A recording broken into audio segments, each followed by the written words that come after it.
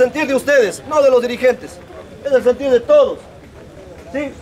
La presencia de nosotros aquí es ya cansados de tanto atropello, de tanta ilegalidad. Señores, como habíamos dialogado la noche de ayer, de aquí no nos vamos a mover hasta que encontremos resultados de la autoridad municipal. Nos hemos cansado de los diálogos, de ofrecimientos, pero que no se han cumplido. La unidad de tránsito ha dado paso a la matriculación de vehículos, ha extendido un permiso de operación con matrículas, matrículas adulteradas. Entonces, compañeros, no estamos en contra de las nuevas operadoras. Estamos en contra de la autoridad. Porque primero se pisoteó un estudio de necesidades. Segundo, se pisoteó una ordenanza en el artículo 3, literal B, de la excepción, donde decía que iban a dar a grupos étnicos, a la gente Shuar. Y la única compañía que ha cumplido es la compañía Trans Tawasap. La única que ha cumplido. Y la compañía Copueno con uno de sus integrantes, que es discapacitado. El resto no. Entonces por eso es el malestar de nosotros eh, y la indignación. Compañeros, hoy es el momento de reaccionar. Hoy es el momento de expresar nuestro malestar. Si hoy nos quedamos callados, nos pisotarán desde hoy hasta siempre. Este es el principio a lo mejor del fin del taxismo de la ciudad de Macas. Si no luchamos, si no solicitamos a la autoridad que revea, que revea el asunto y que cumpla la excepción y que derogue la ordenanza municipal para la otorgación de cupos en el artículo 3, literal B.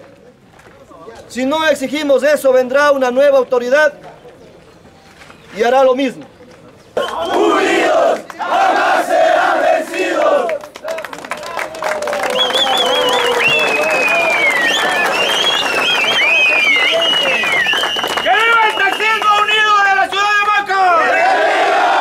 Interpuesto ya las acciones eh, judiciales respectivas ante los tribunales contenciosos administrativos con virtud de declarar nulo las ilegalidades que se están cometiendo con respecto a los estudios y con respecto a toda la normativa generada desde la Municipalidad de Cantón Morón. Se dice que hay un manejo político, no técnico, por parte de los transportistas. ¿Esto estaría pasando?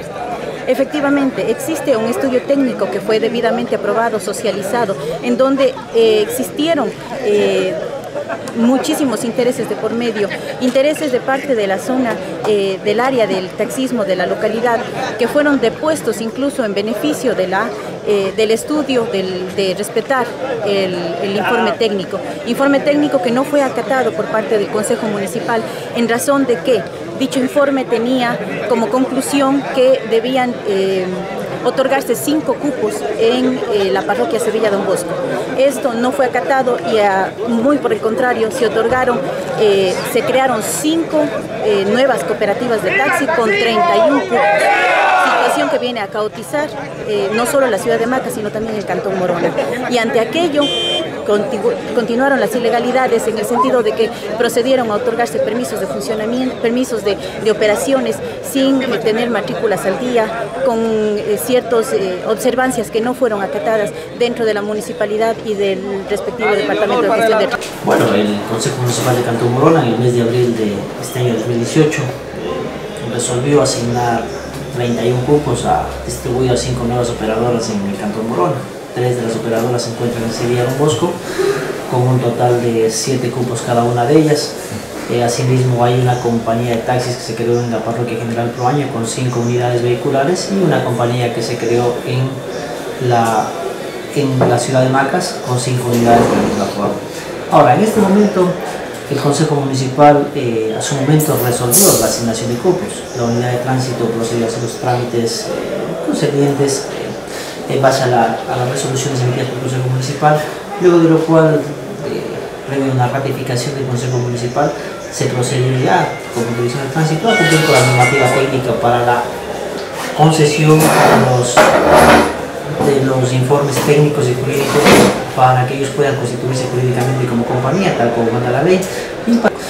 Bueno, la solución debería eh, dar el alcalde y los concejales. Nosotros no podíamos decir cuál es la solución técnica en este momento, sino más bien sería el alcalde los concejales quienes son la autoridad reguladora del tránsito y transporte terrestre y asignación de cupos, que es el Consejo Municipal quien asigna los cupos, quienes podrían dar cualquier solución frente a esto. Nosotros en este momento no podríamos hacer una sugerencia técnica, eh, más bien lo único que queríamos es esperaríamos a que previo un diálogo entre dirigentes del taxismo y el Consejo Municipal se pueda dar solución a este particular. Primer informativo digital de la provincia.